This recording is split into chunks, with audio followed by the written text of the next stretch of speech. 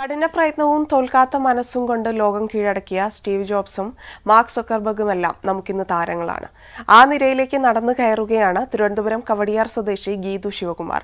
ചുരുങ്ങിയ കാലം കൊണ്ട് ഐ ടി ലോകത്ത് കയ്യൊപ്പ് പതിപ്പിച്ച യുവ സംരംഭകയെ പരിചയപ്പെടാം.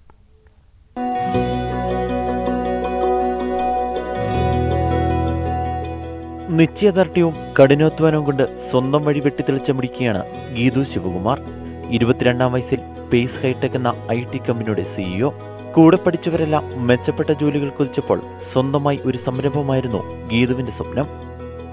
സ്കൂളിൽ വെച്ച് ഒരു വെബ് ഡെവലപ്മെന്റ് കോമ്പറ്റീഷന് പോകാൻ വേണ്ടിയിട്ടാണ് ആദ്യമേ ഇതിലോട്ട് വരുന്നത്. അത് കഴിഞ്ഞിട്ട് പിന്നീട് ഫ്രീലാൻസ് വർക്കൊക്കെ ചെയ്യുമായിരുന്നു. അത് കഴിഞ്ഞ് കോളേജിൽ സെക്കൻഡ് ഇയർ ആയിരുന്നപ്പോൾ എന്റെ ഒരു പ്രിൻസിപ്പൾ ഇങ്ങനെ ഹെൽപ്പ് ചെയ്തിട്ട് ഫ്രീലാൻസ് ചെയ്യുന്നുണ്ടല്ലോ പിന്നെ എന്തുകൊണ്ട് ഒരു സ്റ്റാർട്ടപ്പ് ആയിട്ട് ചെയ്തുകൂടാന്ന് പറഞ്ഞ് അങ്ങനെയാണ് ഒരു സ്റ്റാർട്ടപ്പ് തുടങ്ങുന്നതും.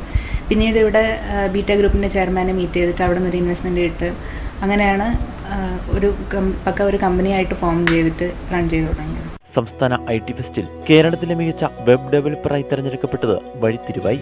രണ്ടായിരത്തി പന്ത്രണ്ടിൽ ജപ്പാൻ സന്ദർശിച്ച ഐ ടി സംഘത്തിൽ ഇന്ത്യൻ അംബാസിഡറായിരുന്നു ഗീതു.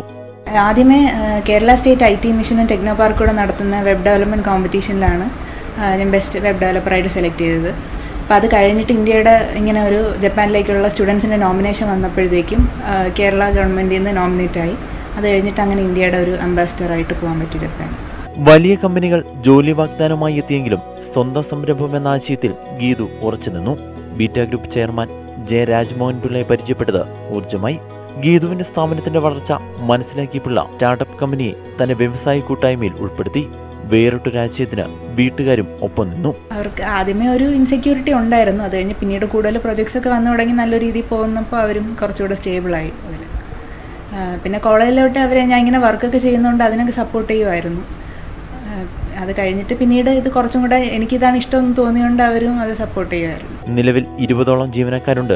ഗീതുവിന്റെ കീഴിൽ മറ്റു സംരംഭവുമായി ചേർന്ന് പ്രവർത്തനം വിപുലീകരിക്കാനൊരുങ്ങുകയാണ് പേസ് ഹൈടെക്. പുത്തനാശയവുമായി മുന്നോട്ട് വരുന്ന യുവ സംരംഭകരെ ഇരു കൈ നീട്ടി സ്വീകരിക്കാൻ തയ്യാറായി എടുത്തിരിക്കുകയാണ് ഗീതുവിന്റെ നേതൃത്വത്തിലുള്ള പേസ് എന്ന I T company.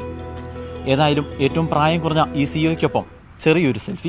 Cameraman Arun പാലോടിനൊപ്പം മനു ന്യൂസ് എയ്റ്റി തിരുവനന്തപുരം.